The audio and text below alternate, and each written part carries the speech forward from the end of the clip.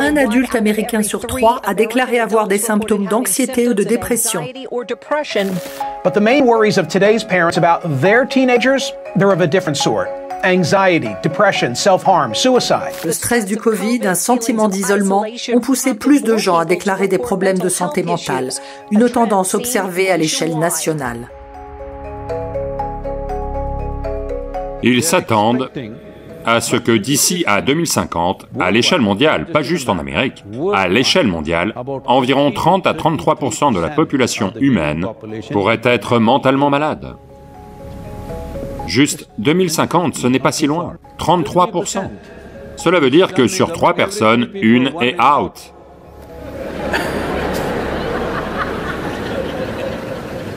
Pourquoi On va dans ce sens parce qu'on ne comprend pas les fondamentaux de la vie.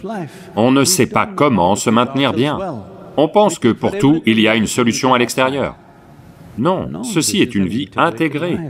Elle a tout en elle-même pour être en bonne santé, pour être bien, pour être saine d'esprit, pour être joyeuse, pour être extatique, elle a tout. Elle est arrivée avec tout, c'est juste qu'on n'y accède pas, parce que ce n'est enseigné nulle part. Tout est transformé en mode, tout est transformé en autre chose. Maintenant, les gens prédisent une pandémie de suicide, comme si une pandémie de maladie mentale ne suffisait pas. 2021. Pendant l'année 2021, le plus grand nombre de suicides de l'histoire de l'Inde a eu lieu en 2021. Plus de 130 000 personnes se sont suicidées, plus de 18 600 de moins de 18 ans. Plus de 7200 enfants de moins de 15 ans se sont suicidés. Pourquoi des 12, 13 ans veulent-ils se suicider quand vous devriez être débordant de vie? Quand vous avez 12, 13 ans, vous devriez être débordant de vie.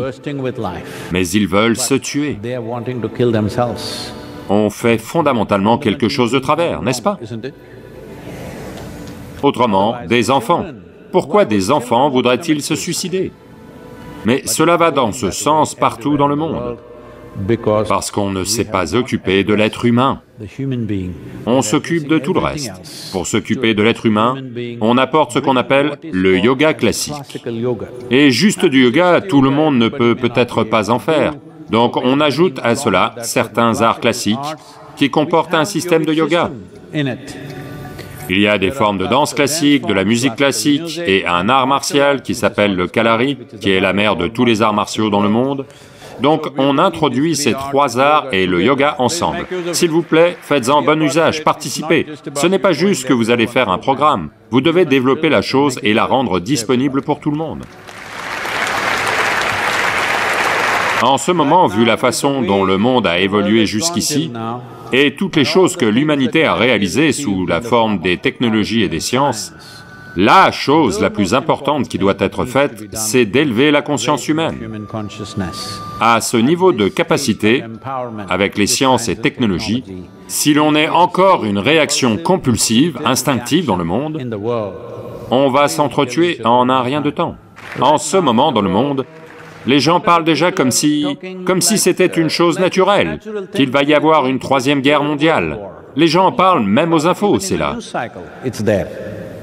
C'est presque comme si il y a eu la première guerre mondiale, il y a eu la deuxième guerre mondiale, donc il doit y avoir une troisième guerre mondiale. Sommes-nous cinglés?